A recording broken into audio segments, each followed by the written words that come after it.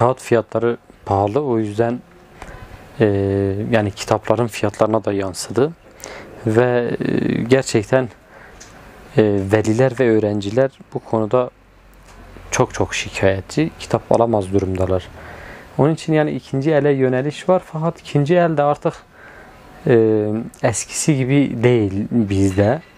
Tabii kaliteli alamadığı için de ortalama bir fiyat çağırdığımız zaman, bir öğrenciye aşağı yukarı e, 1500-2000 lira arası bir masraf oluyor çantayla beraber. E, kitaplar da şu an fiyatları ortalama 200 liranın üzerindedir. E, bu da e, yani 10 kitap alırsa 2000 lira tekabül ediyor. E, gerçekten e, velilerin bütçelerini zorluyor yani. Yani e, ekonomideki e, bu daralma elbette ki yani öğrencinin e, bütçesini de etkiliyor. Yani harçlandan biriktirdikleriyle bazen kitap almak istiyor. Yani 3-5 kitap umuduyla geliyor, bir tane kitap alabiliyor. Onu söyleyeyim bazen alamadan gidenler de var. Ki çoğu fotokopiye yöneliyor. Fotokopi üzerinden ihtiyaçlarını gidermeye çalışıyor. Yani hiç tanımadığımız insanlar bazen gelip veresiye isteyebiliyor. insanı üzüyor yani insan o durumla karşılaştığı zaman bazen vicdan da yapabiliyor. Vicdan azabı da çekiyor. Kriz e, çok derin olduğu için e, insanların, öğrencilerin alım gücü yok. Hani bazı ev oluyor, adamın 4-5 tane öğrencisi var. Yani şu an bir sıfır kitap ortalama 200-250 bandında en kötü kitap.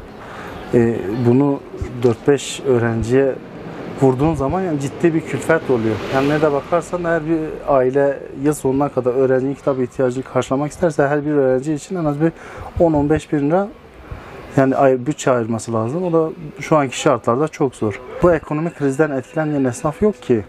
Çünkü dediğim gibi alım gücü düştü.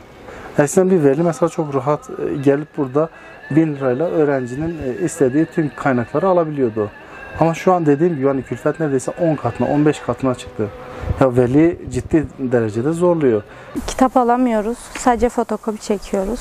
Ee, ona bile bazen paramız yetmiyor. Yani zamlar bizi çok fazla etkiledi. Ee, hatta bazen okumayı bile düşünmüyoruz artık bu zamlardan dolayı. Ee, yani buna ne tür bir çözüm gelir bilmiyoruz. Ama e, bir an önce el atılması gereken bir konu bence. Ee, bu konuda biz çok zorlanıyoruz çünkü. Yani zaten şu an bir kitap en fazla orijinal bir kitap en az 400 liradan başlıyor. E, fotokopiye gelsek yarı fiyatına düşüyor. Yine altından kalkamıyoruz, altından çıkamıyoruz. Yani fotokopiye gitsek, ikinci ele gitsek bu da yine 200'ün altında bir fiyat alamıyoruz bundan da.